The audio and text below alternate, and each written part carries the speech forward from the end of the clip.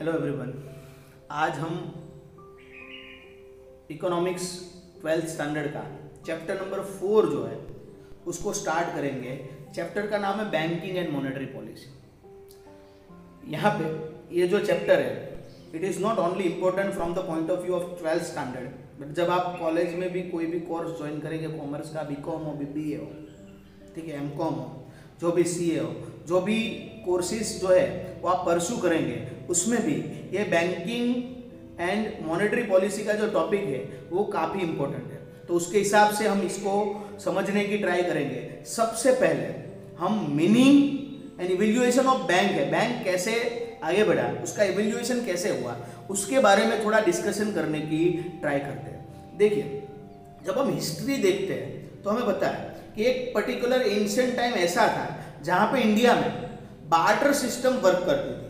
Means जो भी goods and service है, उसके अगेंस्ट में गुड्स एंड सर्विस जो है, उसका एक्सचेंज होता था बट उसके बाद एक पर्टिकुलर टाइम पीरियड ऐसा आया कि जहाँ पे करेंसी कॉइन्स है जो मार्केट में इवेल्यूएट हुई जो पर्टिकुलर किंगडम है किंग है, वो अपने किंग किंगडम के हिसाब से पर्टिकुलर करेंसी कॉइन्स जो है, ठीक है, वो इश्यू करना लगा। जो हम सोना मोहर बोलते हैं, कई स्टोरी में हमने सुना है तो उस पर्टिकुलर पीरियड में प्रॉब्लम क्या हुआ? कि जो भी पर्टिकुलर पर्सन इकोनॉमिक एक्टिविटी करता था, उसके रिटर्न में उसको करेंसी कॉइन्स मिलते थे। पर अब प्रॉब्लम ये होने लगा कि ये जो पर्टिकुलर करेंसी कॉइन्स है, ठीक है, वो जब ज़्यादा से ज़्यादा आने लगेगा तो पर्टिकुलर प्रॉब्लम है उसको स्टोर कैसे करें तो उसकी स्टोर के हिसाब से एक अरेंजमेंट करने को रही। उसके बाद उसकी सेफ्टी के इश्यू है कि भाई चोरी नहीं हो जाए। उसको हम प्रॉपर वे में कैसे सेफली रखें? ये सारा प्रॉब्लम्स जो है, वो बढ़ने लगा तो क्या हुआ कि काफ़ी सारे उस टाइम पे मनी लेंडर्स हुआ करते थे। उसने कौन सी सर्विस स्टार्ट की?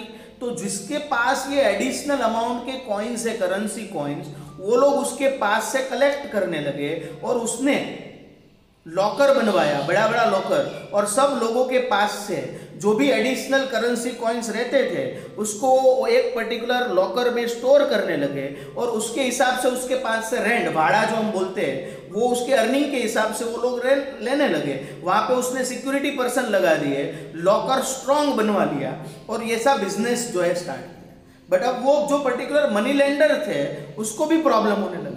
कि इतनी सारी करेंसी कॉइन्स को अब हम कैसे स्टोर करेंगे? एक लॉकर खत्म हो गया, दूसरा लॉकर बनवाना पड़ेगा। पहले दो सिक्योरिटी पर्सन अब चार सिक्योरिटी पर्सन रखने। तो ऐसा प्रॉब्लम्स क्रिएट तो अब उसने क्या किया? जो भी उसके पास जो करेंसी कॉइन्स आते थे, वो पर्टिकुलर करेंसी कॉइन्स का जिसने भी जो जिसके पास एडिशनल है, वो रखने के लिए आते थे, ऐसे ही। काफ़ी सारे लोग थे सोसाइटी में, जिसको एडिशनल अमाउंट की ज़रूरत भी रहती थी। तो ये लोग ने क्या स्टार्ट किया कि जो भी उसके पास अमाउंट आती थी, उसमें से रिक्वायरमेंट के हिसाब से उसको लैंड करने का भी स्टार्ट कर दिया। तो ऐसे, देखो बैंकिंग ट्रेडिशनल वे में स्टार्ट हुआ था। ठीक है? कि जहाँ पे ये पर्टिकुलर जो कॉइन्स है, वो डिपॉजिट होते थे रिक्वायरमेंट के हिसाब से अलग अलग लोगों को वो लैंड करने के लिए दे, देना पड़ देने का स्टार्ट किया। उसके हिसाब से बैंक जो है वो और बैंक का फ़ंक्शन जो है accepting deposit and lending money to public वो ओरिजिनेट हुआ। तो इंग्लिश में हम जो ये बैंक पर्टिकुलर वर्ड है उसको हिप और मास बोल कर सकते हैं। एक साथ जो पर्टिकुलर एस्पेक्ट हमें कलेक्ट करने का उसको मास बोलेंगे। संस्कृत वर्ड जो है हमारा यहाँ का इंडिया का उसमें उसको भंडा हम भंडोल शब्द भंडोल मीन्स क्या। कलेक्शन ऑफ़ कैपिटल फंड जो कैपिटल फंड है, उसका कलेक्ट उसके हिसाब से संस्कृत वर्ड बंडोल है, उसमें से बंडा, उसमें से बैंक वर्ड जो है डिराइव हुआ। बेसिकली ये जो बैंक वर्ड है, वो Italian word banca French word banque में से डिराइव हुआ है। वो लोग क्या करते हैं फ्रेंच में यूरोप में पर्टिकुलर यूरोपियन कंट्री में क्या करते थे मनी लेंडर्स कि एक पर्टिकुलर बेंच जैसा एक टेबल था, उसमें वो बैठते थे। वहाँ से जो भी रिक्वायरमेंट के हिसाब से पैसा डिपॉजिट करने के लिए आता था, उसके पास से डिपॉजिट लेते थे। और जो भी रिक्वायरमेंट होती थी, जिसको उसको वो लैंड करते थे, ये जो डिपॉजिट और लैंडिंग की एक्टिविटी थी, वो लोग एक पर्टिकुलर बेंच पर बैठ के करते थे।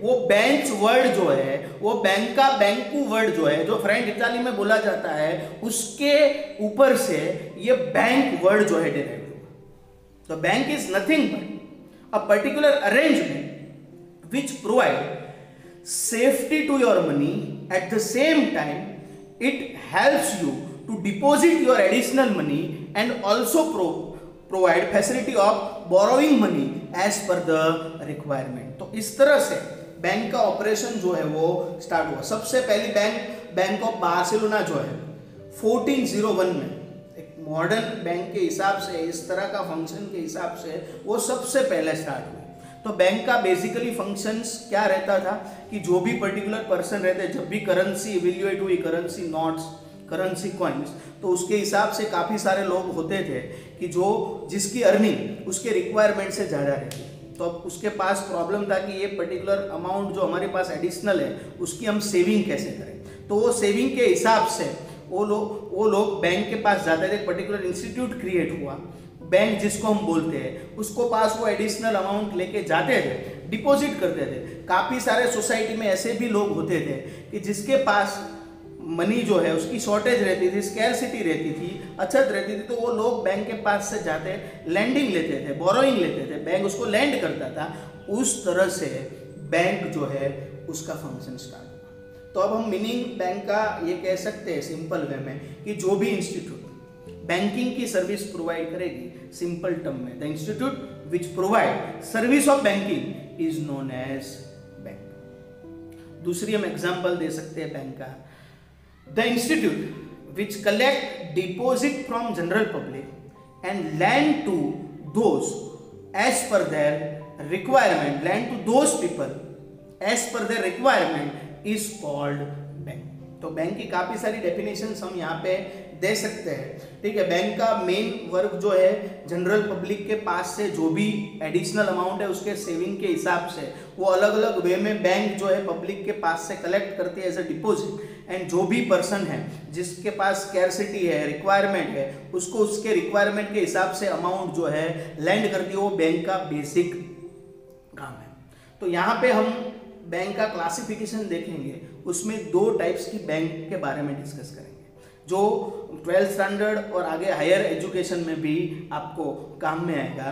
दो पर्सन की बैंक हम यहाँ पे डिस्कस करेंगे। One is commercial bank and one other one is central bank सबसे पहले हम कमर्शियल बैंक का मीनिंग जो है, वो इस वीडियो लेक्चर में डिस्कस करने की ट्राई करते हैं। यहाँ पे बैंक के आगे लगा वर्ड कमर्शियल कमर्शियल वर्ड लगा। उसका मतलब है कि जो भी बैंक एक्टिविटी प्रोवाइड करेगी, वो फ्री में नहीं करेगी। उसके सामने वो कुछ रिवॉर्ड लेगी, कुछ रेम्यूनरेशन लेगी, कुछ फ़ीस लेगी, कुछ प्रॉफिट जो भी हम बोलते हैं, वो हमारे पास से चार्ज करेगी। फ्री ऑफ़ कॉस्ट में sir that's why this particular bank is consider as commercial bank the bank which provide banking service for the motive of profit is known as commercial उसको हम क्या बोलते हैं? कमर्शियल बैंक बोलते हैं। The bank at a particular interest rate get deposit from public से for example कोई bank है, वो एक सैलराइज पर्सन के उसके पास से डिपॉजिट सेविंग अकाउंट में कलेक्ट करती है और सेविंग अकाउंट में से फॉर एग्जांपल वो कस्टमर जो है, उसको फोर परसेंट इंटरेस्ट रेट देती है। बैंक के पास जो भी फंड आया ये पर्टिकुलर डिपॉजिट के हिसाब से, अगर बैंक ऐसे ही रखेंगी तो बैंक को तो चार परसेंट इंटरेस्ट देना है लॉस जाएगा। तो बैंक क्या करेगी? वो जो डिपॉजिट की अमाउंट है अमाउंट है, उसको रिक्वायरमेंट के हिसाब से जनरल पब्लिक को लैंड करेगी से फॉर एग्ज़ाम्पल उसको सेवन परसेंट के हिसाब से लोन के तौर पे एक पर्टिकुलर पर्सन को बैंक दे रही है। चार परसेंट के हिसाब से सेविंग अकाउंट के डिपॉजिट में ले रही है सेवन परसेंट की लोन के पर्टिकुलर इंटरेस्ट रेट के हिसाब से दे रही है। यहाँ पे जो थ्री परसेंट का डिफरेंस आया, वो बैंक के हिसाब से क्या होगा? प्रॉफिट होगा। तो वो प्रॉफिट के हिसाब से अगर बैंक जो है अपना पर्टिकुलर फ़ंक्शंस जो है परफॉर्म करती है then this particular bank is consider as commercial bank तो सिंपल टर्म में हम कमर्शियल बैंक को ऐसे बोल सकते हैं कि जो भी बैंक प्रॉफिट मोटिव के हिसाब से हम अपनी बैंकिंग सर्विस प्रोवाइड करती है this particular bank is consider as basically क्या होता है, ज़्यादातर जो भी बैंक रहती है वो कॉमर्शियल होती है, क्योंकि वो फ्री में तो हमें सर्विस देगी नहीं। जो भी अपना बैंकिंग का बिज़नेस करेंगी बैंकिंग की सर्विस प्रोवाइड करेगी, उसके सामने से वो कुछ अर्निंग के हिसाब से प्रॉफिट या कोई भी तरह से वो रिटर्न अर्निंग जो है, वो लेगी हमारे पास। तो उसके हिसाब से जो भी एक्टिविटी अर्निंग प्रॉफिट के हिसाब से होती है, वो कॉमर्शियल एक्टिविटी होती है। तो the bank which provide service for the motive of profit is known as commercial bank thank you very